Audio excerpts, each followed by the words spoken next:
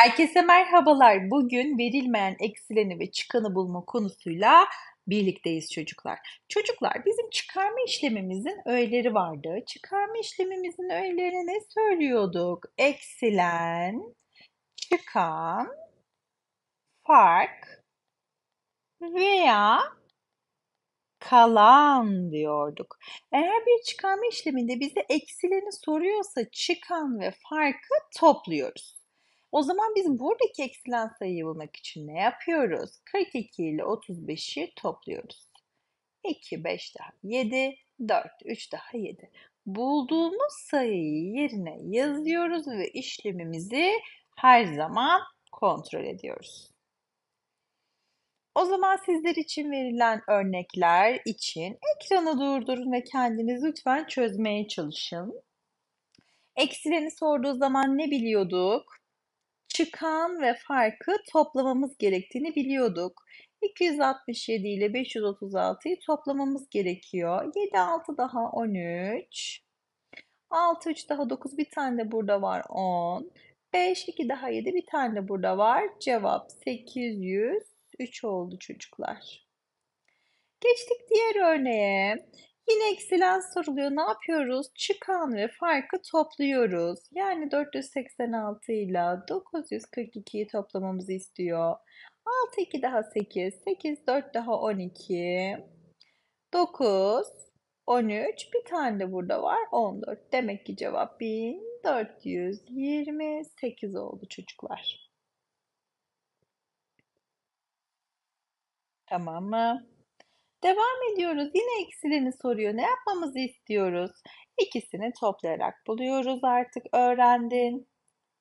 Harika ilerliyorsun. 8, 5 daha 13. 8, 7 daha 15. Bir tane burada var 16. 4, 3 daha 7. Bir tane burada var 8. Cevap 863 oldu kuzucuklar. Yanlış yaptıysan yeniden ekranı durdur ve çözmeyi dene olur mu? Devam ediyoruz. Bu sefer yine çıkarma işleminde bize eksileni değil de çıkanı sorarsa ne yapıyoruz? Çıkarma işlemimizin öğeleri nelerdi? Eksilen, çıkan, fark veya kalan kısmımız vardı. Eğer burayı soruyorsa ne yapıyoruz? Eksilen sayımız ile farkın arasında kaç tane sayı var? Ne kadar mesafe var diye soruyor. O zaman biz 85'ten 43'ü ne kadar mesafe olduğunu, ne kadar uzaklık olduğunu bulmak için çıkarıyoruz. 5'ten 3 çıktı, 2 kaldı. 8'den 4 çıktı, 4 kaldı kuzucuklar. Sizler için verilmiş örnekler var. Ekranı durdur ve lütfen kendin tekrar çözmeye çalış. 576'dan kaç çıkarsa 287 kalır. Yani 576 ile 287 arasındaki mesafeyi soruyor. O zaman biz 576'dan 287'yi çıkarıyoruz. 6'dan 7 çıkar mı? Çıkmaz. Komşu gittik bir 10'u kaldık. Burada kaldı 6 burası oldu 16. 16'dan 7 çıkıyor. 15, 14, 13, 12, 11, 10, 9. 6'dan 8 çıkmaz. Komşuya gittik bir 10'u kaldık. Burada kaldı 4 burası oldu 16. 16'dan 8 çıktı 8 kaldı. 4'ten 2 çıktı 2 kaldı. Demek ki burada bulduğumuz sonuç kaçmış? 289. Geldik yine çıkanı soruyor. Ne yapmamız gerekiyor? 925 ile 387 arasında ne kadar fark var diye soruyor. Ne yapıyoruz? 925'ten 387'yi çıkarıyoruz kuzucuklar. 5'ten 7 çıkar mı? Hayır. Komşuya gittik bir onu kaldık. Orada kaldı. Bir burası oldu 15. 15'ten 7 çıktı. 14, 13, 12, 11, 19, 8. Birden 8 çıkmaz. Komşuya gittik bir onu kaldık. Burada kaldı 8. Burası oldu 11. 11'den 8 çıktı. 9, 10, 11. 3 kalmış oldu. 8'den 3 çıkmış oldu. 5. Cevap 538. Yine bir eksilen sayımızdan farkı kadar olan mesafeyi soruyor. Biz çıkanın ne kadar olduğunu bilmiyoruz. Nasıl buluyoruz kuzucuklar? 2867'den 946'yı çıkarıyoruz. 7'den 6 çıktı 1 kaldı. 6'dan 4 çıktı 2 kaldı. 8'den 9 çıkmaz. Komşuya gittik bir 10'lu kaldık. Burada kaldı 1. Burası oldu 18. 18'den 9 çıktı 9 kaldı. 1 de aşağıya indi. Ben 1921 çıkarttığımda buradaki sayıyı buluyormuşum. Geldik problemlere. Lütfen ekranı durdur ve kendin çözmeye çalış. Dart iç içe renkli halkalardan ve bunları kesen üçgen dilimlerinden oluşan bir hedefe ufak okların yani dartların elle atılarak saplanması suretiyle oynanan bir spordur. Yandaki dart tablosunun puanlanması şöyledir. Sarı bölge 75 puan, kırmızı bölge 65 puan, mavi bölge 55 puan, yeşil bölge 45 puan ve beyaz bölge 35 puanmış. Dart oynamaya karar veren Mete iki atışta toplam 130 puan almış. Ne kadar almış? 130 puan almış. Ben 130 olduğunu biliyorum. Atılan renklerden biri mavi ise mavi kaç puanlı çocuklar? 55 değil mi? O zaman diğer rengimizin ne olduğunu soruyor. Yani ben 55 ile neyi toplamışım ki 130 olmuş. Biz buradakini nasıl buluyorduk sayımızı? 130'dan 55'i çıkararak buluyorduk. Sıfırdan 5 çıkar mı? Hayır. Komşuya gittik bir 10'u kaldık. 2 kaldı. Burası oldu 10. 10'dan 5 çıktı. 5 kaldı. 2'den 5 çıkmaz. Komşuya gidip bir 10'u kaldık. Burası oldu 12. 11, 10, 9, 8, 7. Cevabımız 75 oldu. Kontrolünü de sağlayabilirsin. 5, 5 daha 10. 10'un 0 elde var 1. 6 oldu. 7, 8, 9, 10, 11, 12, 13. Tamam mı? Süper. Veya şu şekilde de çözebilirsin. 130'dan ne kadarı çıkartmalıyım ki? Hangi rengi çıkartmalıyım ki 55'i bulmalıyım şeklinde de çözebilirsin. İki çözüm yolu da doğru. Bizim bulduğumuz 75 puan hangi bölgeye aitmiş? Sarı. Demek ki cevabımız ne olacakmış? Sarı bölge. Süper. Geçtik diğer probleme. Yine ekranı durdur ve kendin çözmeye çalış lütfen. Yüzme yarışına hazırlanmak sadece antrenman yapmaktan ibaret değildir.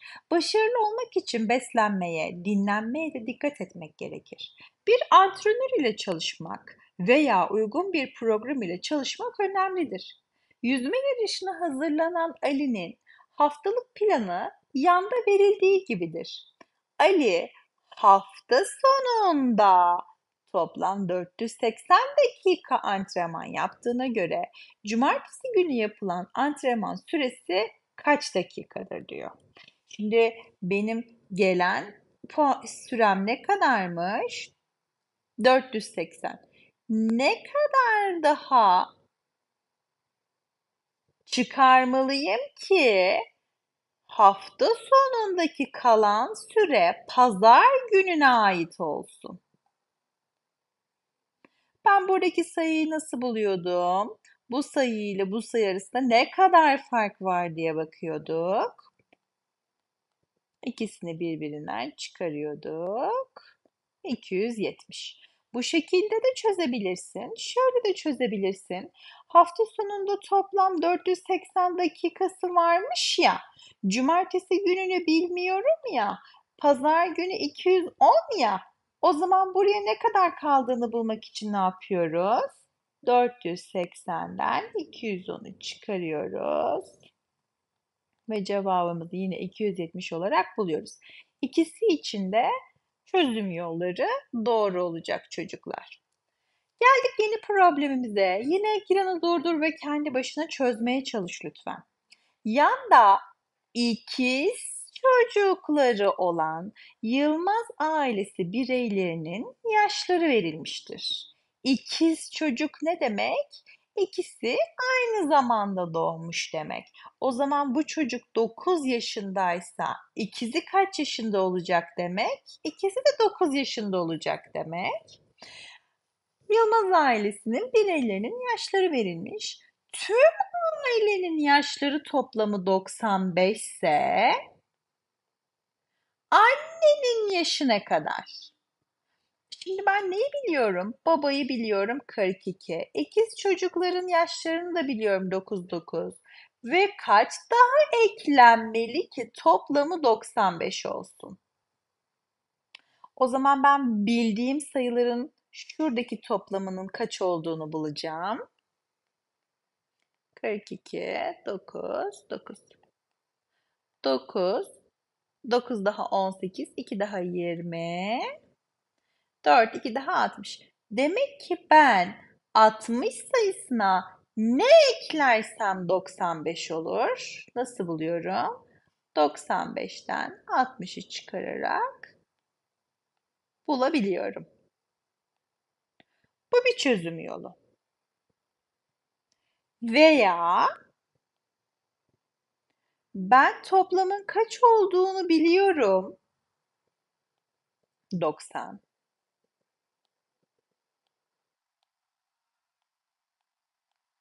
90'dan ne kadar çıkarmalıyım ki bu ailenin toplamını çıkardığım zaman, bildiklerimi çıkardığım zaman annenin yaşı elimde kalmış olsun.